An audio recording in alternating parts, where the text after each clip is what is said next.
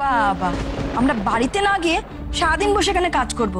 আর তুমি বুঝি আমাদের উপর বসিং করবে? সুযোগ পেলে আর জাহির করে দিলে তো। তোমার পেটে একটু একটু শিক্ষা আছে?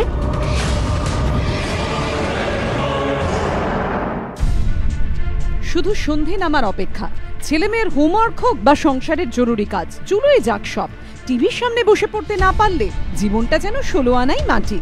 সাংসারিক কুটকাচালি থেকে পরিবার ভাঙার চক্রান্ত। গ্রাম্য মেয়ে শহুরে সংগ্রামের সেন্টিমেন্ট থেকে ধর্মীয় সংস্কারের সুরসুরি। টপ টিআরপি সব সিরিয়াল গোগ্রাসে গিলে ফেলতে না পারলে পরের দিন বন্ধু মহলে স্ট্যাটাসের মুখে যে চুনকালি পড়বে।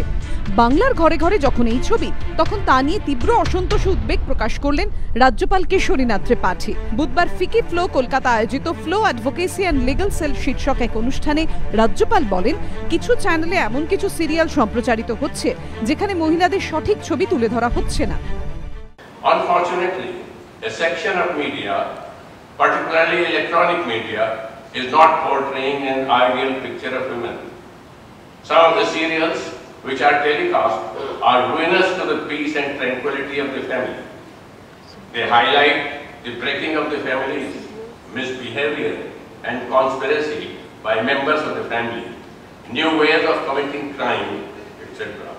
এই সব ধারাবাহিক সমাজের পক্ষে অস্বাস্থ্যকর বলে মন্তব্য করেন রাজ্যপাল These do not create a healthy atmosphere and have the effect of polluting young minds. Anandabazar পত্রিকায় প্রকাশিত খবর, রাজ্যপালের এই বক্তব্য সমর্থন করেছেন অনুষ্ঠানে উপস্থিত অনেকেই। তাদের পর্যবেক্ষণ, বাংলা বা হিন্দি সিরিয়াল যেমনই হোক, বেশিরভাগের বিষয়বস্তু সংসারের অশান্তি বা একে অপরকে টেক্কা দেওয়ার চক্রান্ত, যেখানে বাড়ির মেয়ে, বউ, শাশুড়ি বা অন্য মহিলাদের চরিত্রকে খাটো করে দেখানো হচ্ছে। সুস্থ সমাজে যা শিক্ষামূলক বা বিনোদনমূলক কোনো বার্তাই দেয় না। তাদের মতে জনসমক্ষে এমন কিছু ছবি তুলে ধরা উচিত যা নারী সমাজকে এগিয়ে নিয়ে যেতে সাহায্য করবে। কিন্তু বেশিরভাগ সিরিয়ালে যা দেখানো হচ্ছে, তাতে মহিলাদের সম্মান তো বাড়ছেই না, উল্টে কমছে। যার ফলে ক্ষতি হচ্ছে এই সমাজের। ক্ষতি হচ্ছে নতুন প্রজন্মেরও। এবিপি আনন্দ।